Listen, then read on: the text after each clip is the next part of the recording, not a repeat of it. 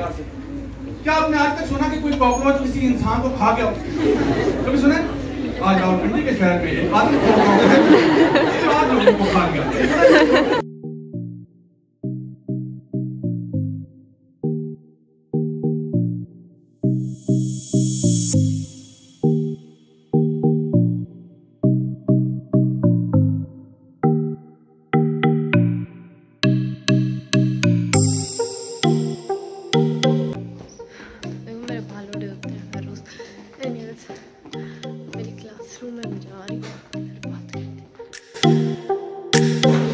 करते हैं अब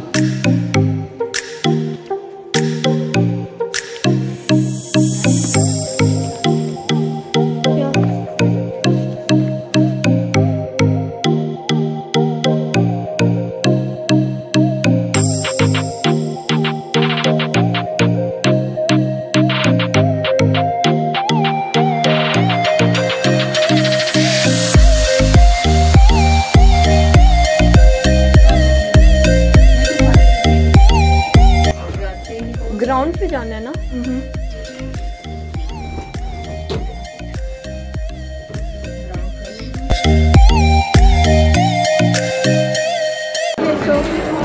जा रही हूँ सेमिनार हॉल अटेंड करने। स्पीच बाय स्पीकर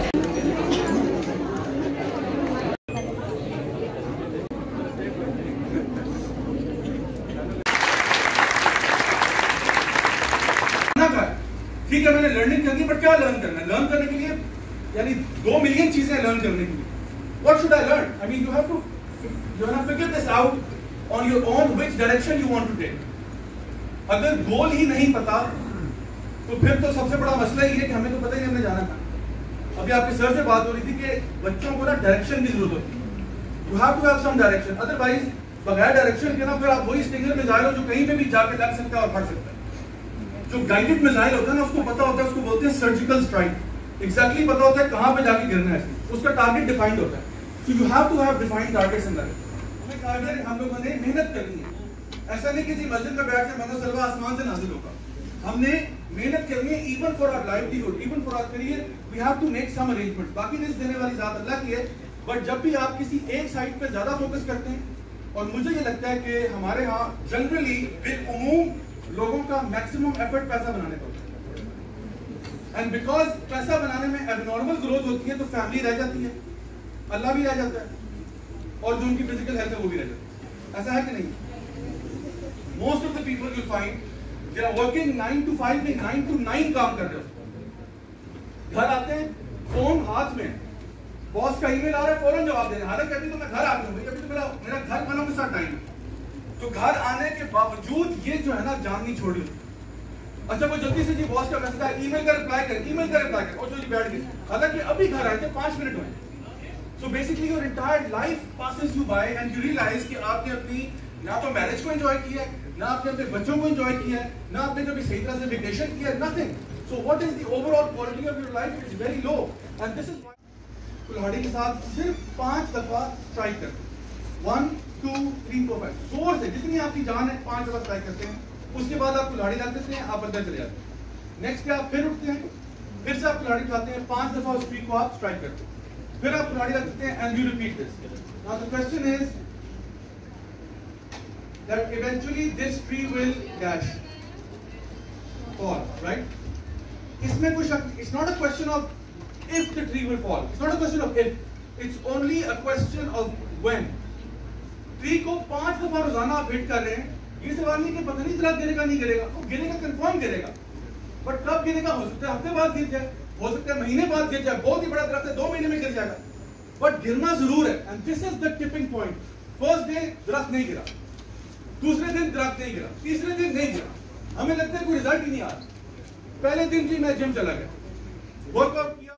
इनकी शादी को 20 साल हो गए। ज़िंदगी में एक दफ़ा 15 लाख रुपए की अंगूठी गिफ्ट सोने की अंगूठी के ऊपर बहुत मोटा सा डायमंड लगा 15 लाख की अंगूठी उसने अपनी वाइफ को गिफ्ट की। उसके बाद कुछ नहीं।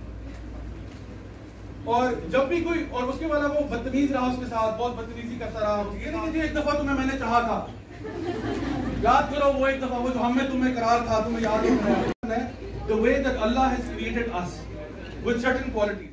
हमारे वाली, यानी जो हमारे साथ होता है वो अगर अलामा इकबाल के साथ हुआ होता तो इमेजिन करें, अलामा इकबाल एक नौजवान, बारह तेरह साल की उम्र में। और उनकी पीटीए, यानी उनकी पेरेंट्स से मीटिंग हो रही है। और टीचर जो है वो उनकी अम्मी को बुला के इस बात पर डांट रहे हैं कि आपके बच्चे को अलजबरा नहीं आता।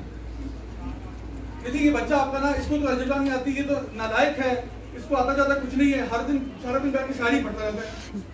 सबक फिर पढ़ सदाकत का, अदालत का, सुजात का, दिया जाएगा तुझसे काम, दुनिया की मामत का नहीं क्या बोलता रहता है, पहाड़ों में तो बात ये कुछ लोग होते हैं लिंग्विस्टिकली इंटेलिजेंट होते हैं। आप उनको अगर मैथ के ऊपर जज करना शुरू करेंगे दिस इज़ इनजस्टिस ये बहुत बड़ा जुल्म होगा। किसी बंदे को जो कि लिंग्विस्टिकली इंटेलिजेंट है, उसको आप बाकी सारों में नापना शुरू करें उसके अलावा बॉडी किनेस्थेटिक्स है।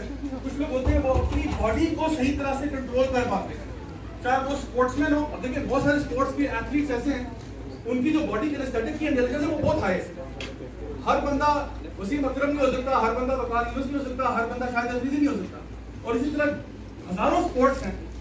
हर बंदा उस फ़ील्ड में नहीं, उस मुकाम पे पहुँचता। क्यों? बिकॉज़ उनकी वो बॉडी आई हैंड आई जो ना कोऑर्डिनेशन के वो उस लेवल पे नहीं है, जिस लेवल पे ये लोग करते अब ओलंपिक के अंदर इतनी सारी गेम्स हैं, उनके जो विनर्स होते हैं, उनके उनका लेवल देखिए वो किस लेवल पे स्प्लिट सेकंड में हो रहा है, बेटे, सोच है। ये कॉकरोच टेक्निकली स्पीकिंग मेरा क्या बिगाड़ सकता है? थिंक फॉर अ सेकंड ये कॉकरोच मेरा क्या बिगाड़ सकता है? क्या आपने आज तक सुना कि कोई कॉकरोच किसी इंसान को खा गया कभी सुने आ जाओ पिंडी के शहर में एक आदमी को खा गया क्या ये अच्छा खा नहीं सकता। चलो, एक तो चेक हो गया कि खा नहीं सकता। क्या ये कोई मशीन गन से फायर खोल देगा? आज रावलपिंडी के शहर में वही रोड पर एक कॉकरोच ने मशीन गन से फायर खोल दिया। ग्रैंड ऑटो के स्टाइल में ये कॉकरोच वहाँ ये खबर आई क्या मशीन गन लेके कॉकरोच दर दर दर दर फायर खोल क्या किसी को खबर आई होगी थी कोई कॉकरोच बम धमाके में उड़ गया। अपने साथ कई लोगों को जा भाग किया, कई को जख्मी कर दिया कभी ऐसा नहीं, अब ये बेटा सोच रहा है कि यार ये कॉकरोच है।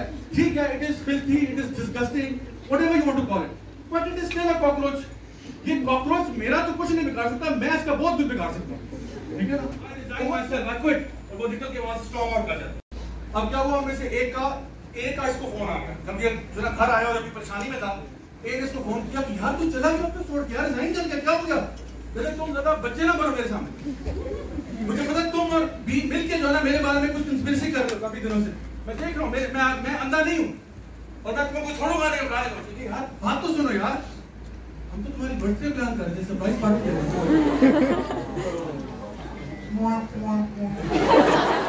यानी अगर आपकी टांग एक है और एटीट्यूड आपका पॉजिटिव है ना तो आप एक ओलंपिक लेवल की स्केल भी बन सकते लेकिन टांगे हमारी दो हैं एटीट्यूड नहीं है तो हमें कोई स्विस साहब से नीचे धक्का दे तो पहले हार्ट अटैक से मर तो attitude matters a lot if you believe in yourself nothing is impossible दुनिया के जितने भी बड़े से बड़े लोग हैं, जितने अजीम से अजीम लोग हैं ना, वो बचपन से अल्लाह का शुक्र है कि मुखी पाकिस्तानी नहीं अगर पाकिस्तानी होती तो कहती कि मैं अगर आज काम पे ना भी जाऊँ तो क्या क्यामत आ जाएगी?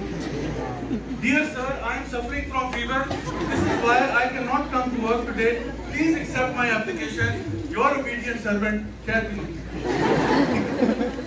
तो ये शायद की मक्खी अगर कहती मैं मैं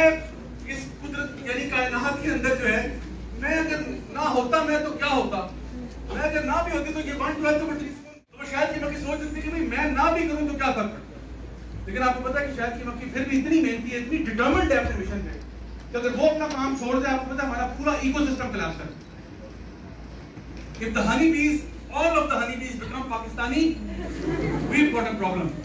ठीक है ना? Because फिर शायद बनना बंद हो जाएगा और क्या होगा, पूरा इकोसिस्टम कोलैप्स करेगा सारे इंसान मर जाएँगे। क्योंकि ना सिर्फ़ हनी भी शायद बनाती है, बल्कि पॉलिनेशन में हेल्प करती है। वो जो पॉलिनेशन का प्रोसेस अगर रुक गया तो ना आपकी सारे, सारी वेजिटेशन खत्म हो जाएगी। वेजिटेशन खत्म होगी तो जानवर मर जाएँगे, जानवर मरेंगे तो हम भी मर जाएँगे। तो शायद के ऊपर कॉल उनके डीन आए हुए जी, लेकिन मेरा टाइम हो गया, बस इसका सो आई एम गोना गो तो या that was the talk coughing हो रही है